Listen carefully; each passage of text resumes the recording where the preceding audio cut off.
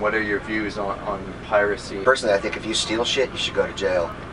I don't give a fuck. You steal something, you should go to jail. If I have a painting, uh, it's hanging up in the gallery.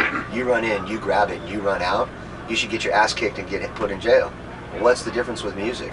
Oh, I'm gonna get lit up on that. Yeah. I don't really, Yeah. really, I don't care. It's all you fucking thieves that are gonna light me up. So go fuck yourself. It's the motherfucking Eagle Double G. Snoop Dogg.